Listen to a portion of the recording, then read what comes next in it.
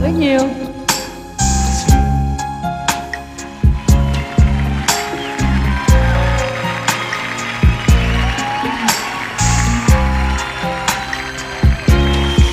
tình yêu như chuyện cổ tích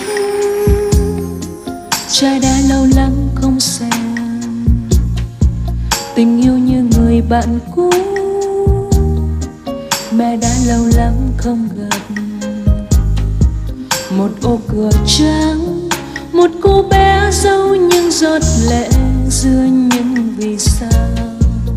Rơi ngoài sông, trong một đêm lấp lánh ánh trăng. Đêm sau từng lời hờ hững là tháng năm sắp qua rồi.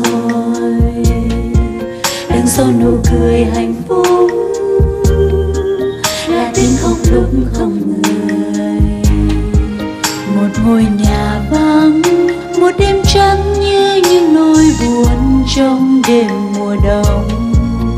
Hay màu hoa đang chờ lúc xuân sang thức dậy.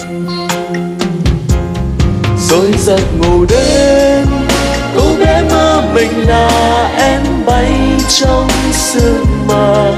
Băng qua đại dương, bay đến những thiên hà xa lắm để cho màu trắng. Như giấc mơ dịu dàng sẽ ở lại trong tim. Và trên mái nhà đàn chim én về cùng mùa xuân.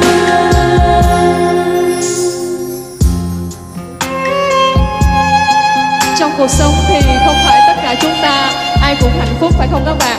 À, cũng có những bạn sống trong một gia đình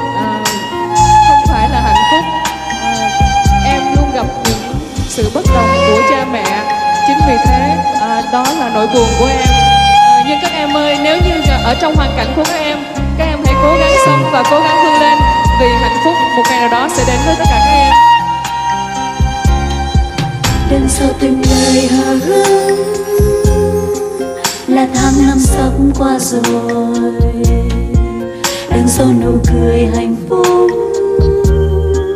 là tiếng khóc lúc không người.